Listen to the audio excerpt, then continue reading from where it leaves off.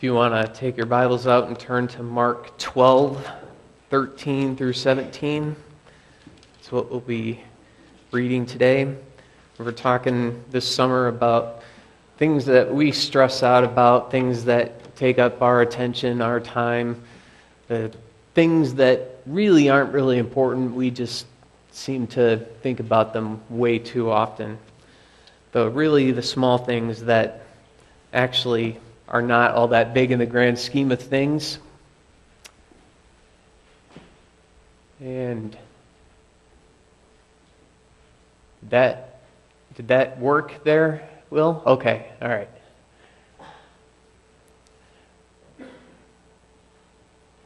Oops. There we go. Let's say our Bible verse that we're trying to memorize here.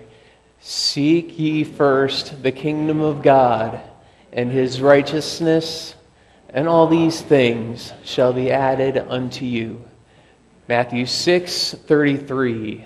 And again, seek ye first the kingdom of God and his righteousness, and all these things shall be added unto you. Matthew 6 33 when we pursue the things of God, the things that we need, the things of this world, and so forth, that they all come in their own time. Now, Mark 12, 13 through 17. It says, Later they sent some of the Pharisees and Herodians to Jesus to catch him in his words. They came to him and said, Teacher, we know you are a man of integrity you aren't swayed by men because you pay no attention to who they are, but you teach the way of God in accordance with the truth. Is it right to pay taxes to Caesar or not? Should we pay or shouldn't we? But Jesus knew their hypocrisy. Why are you trying to trap me? He asked. Bring me a denarius and let me look at it. They brought the coin, and he asked them, Whose portrait is this? And whose inscription? Caesar's, they replied. And Jesus said to them, Give to Caesar what is Caesar's, and to God what is God's. And they were amazed at him.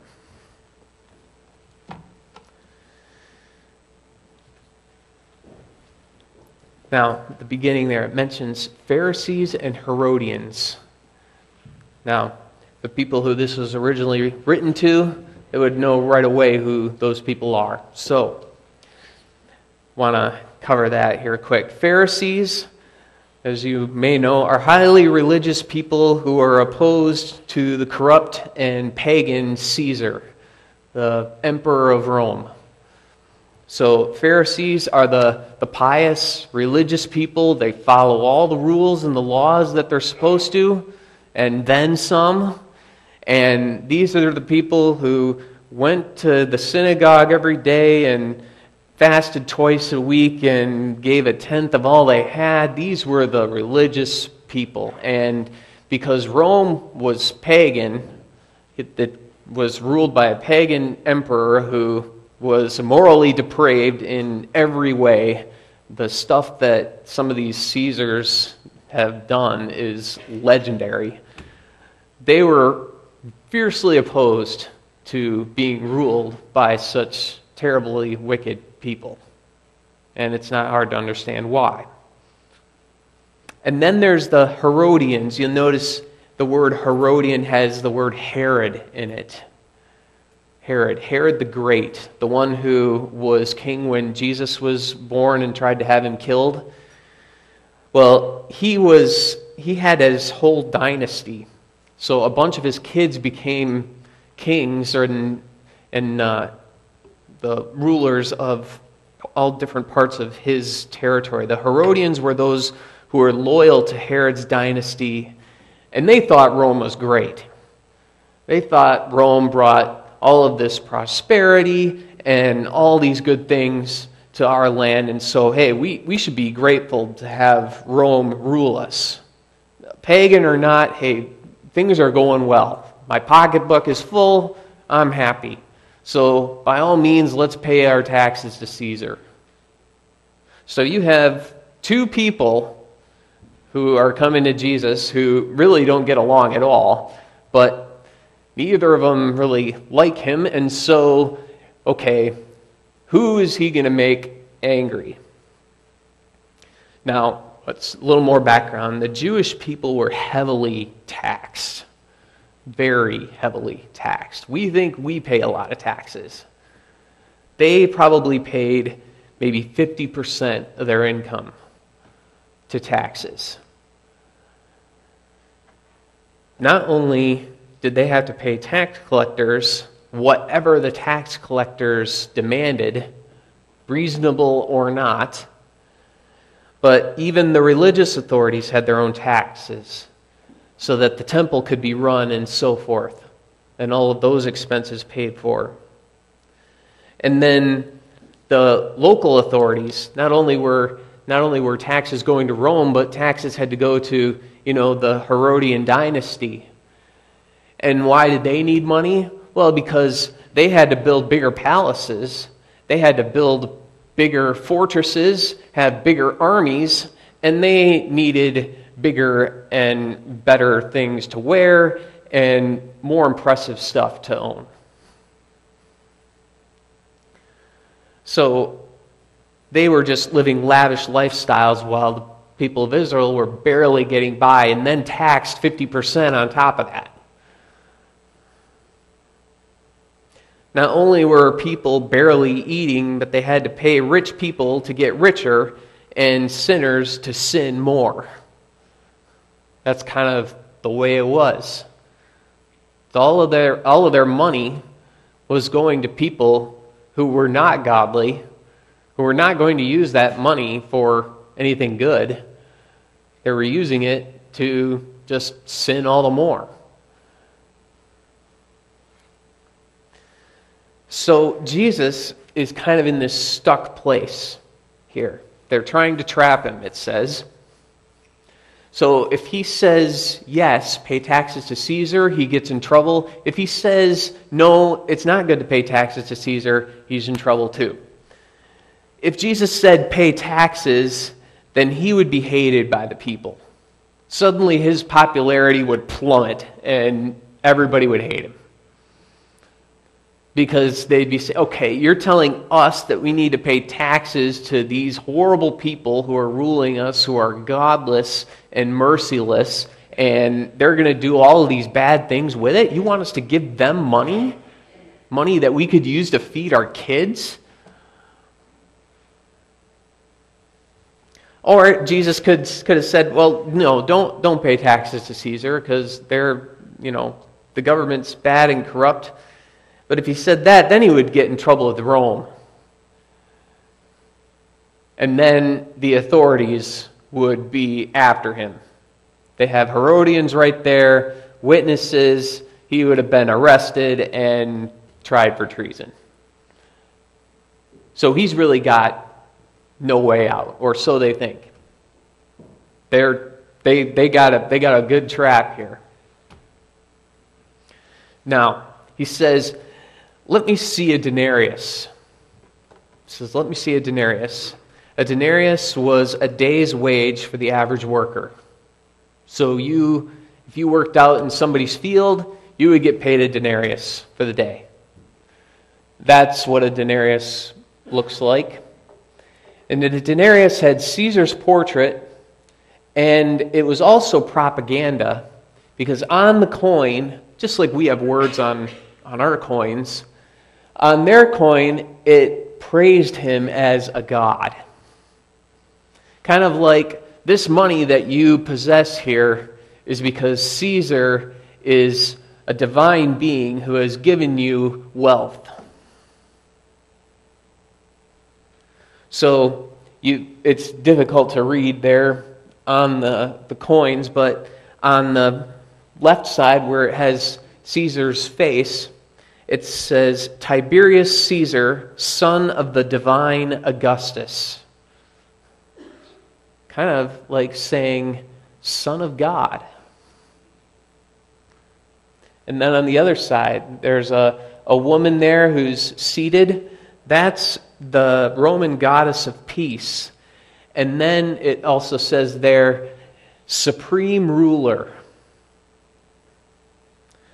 So, in other words, Tiberius Caesar is the Son of God and the supreme ruler, and your money comes from him. And peace comes from him. So, this very coin that you would get paid every day says this stuff on it.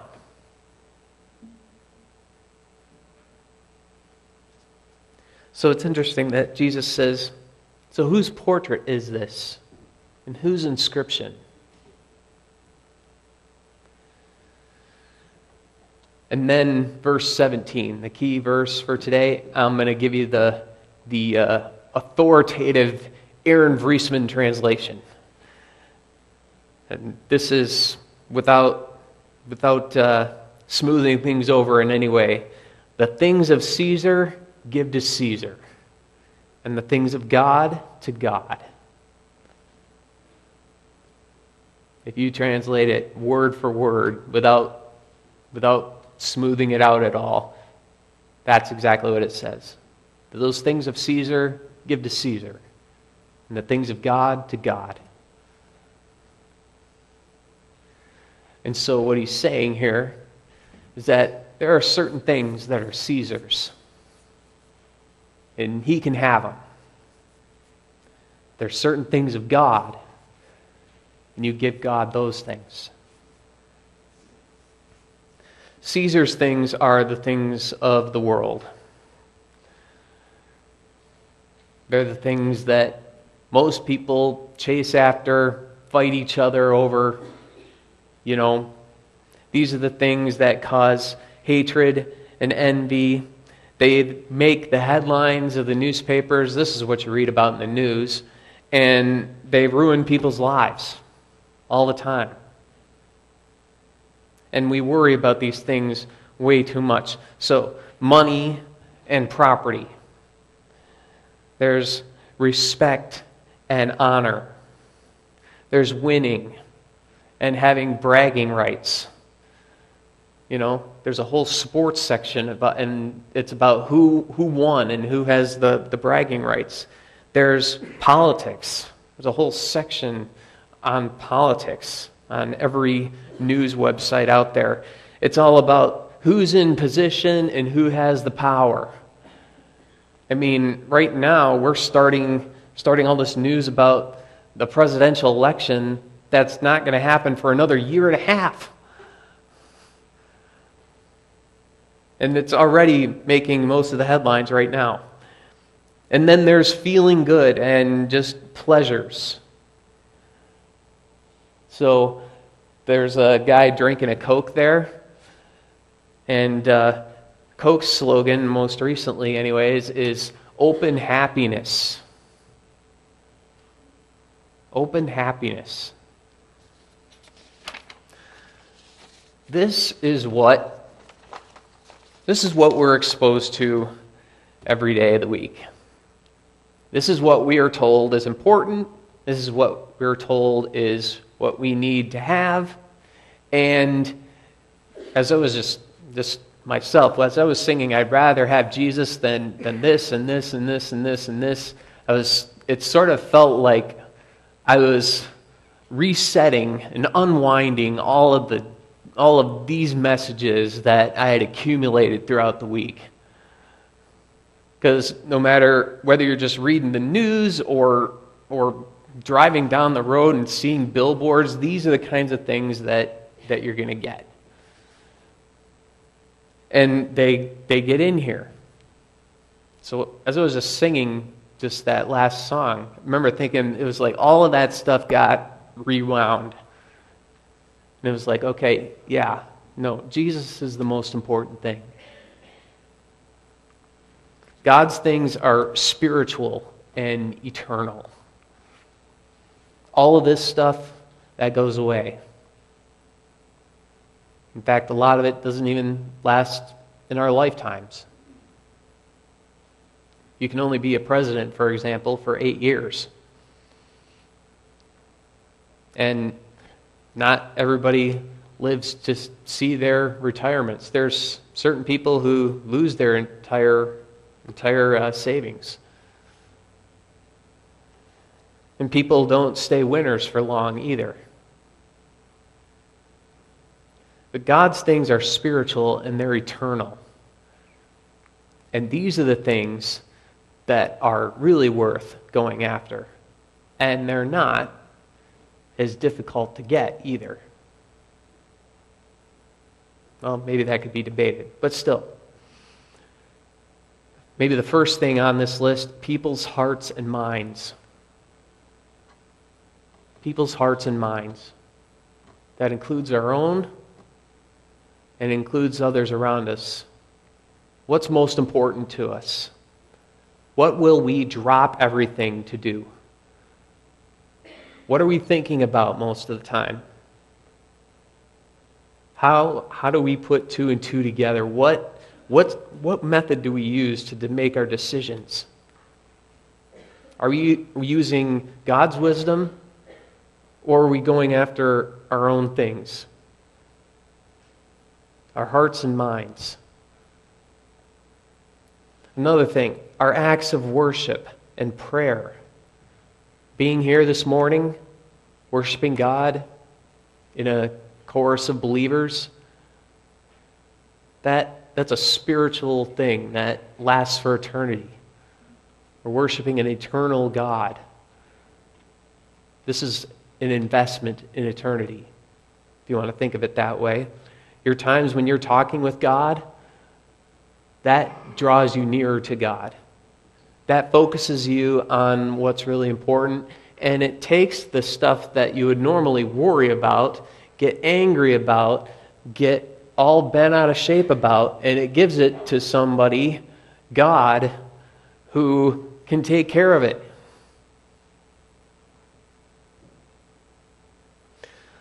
Other things, forgiveness that doesn't let sin define relationships. That's really hard. But this is a thing of God. When Corrie ten Boom forgave one of the soldiers at her concentration camp, that was not a human thing. Only God can give that kind of forgiveness. And that's powerful. To give up that anger, that hatred, that bitterness towards somebody who hurt you so terribly. Love that does what's best for others. Not what's easiest, not what's most convenient, not what comes to mind first, but doing the right thing for others whether it's easy or hard, whether it's politically correct or not. And sometimes, even if they will hate you for it. Love that does what's best for others. Joy that endures through any circumstances. There's people who've been burned at the stake and they are singing praises to God. That's joy. That can only come from God. And then there's peace that doesn't need to brag, it doesn't need to win. You can, you can, uh, you can compete hard and, and do your best. And if you lose, that's okay. That's okay because you have something better. When you finish the race and get the prize that's heavenly, none of these you you can you can have all of the gold medals in history and all of that will just disappear.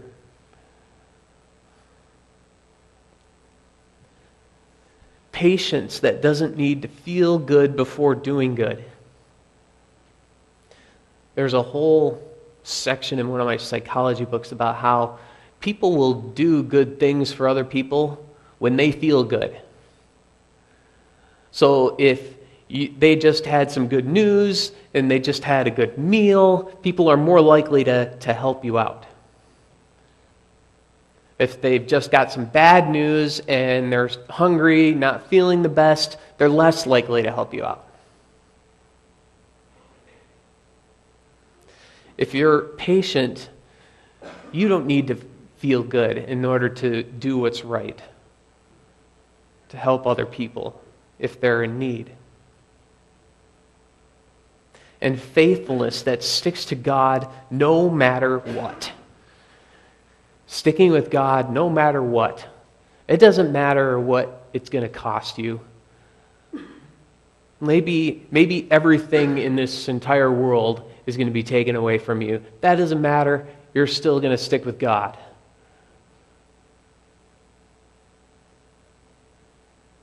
That's something from heaven.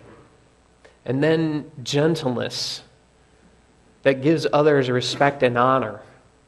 There's a lot of people out there who want to demand respect and honor. They like to bully people. They like to push you around or intimidate you. Sometimes they try to pull rank so that they can get you to do something small so they can feel good about themselves.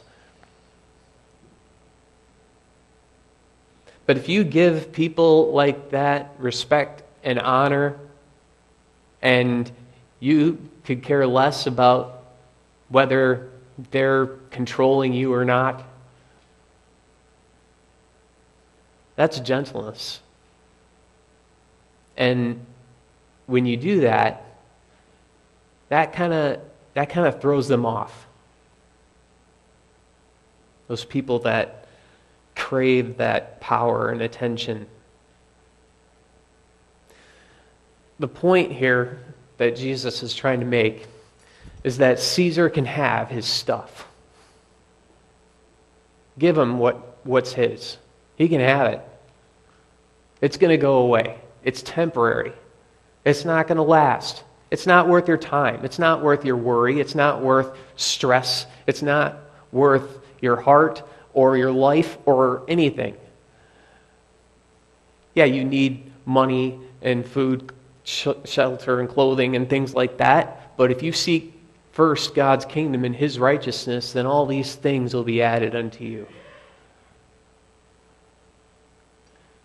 Caesar can have his stuff. And even by giving to Caesar things that Caesar wants, we show that we have better things from God. When we give to Caesar the things that Caesar wants, then we are showing to ourselves, we're showing to anyone who notices that, you know what? There's better things. You can have my money. You, you want, you want the, the winner's trophy? You can have it. If you want the corner office, you can have it. You want the better salary? Fine.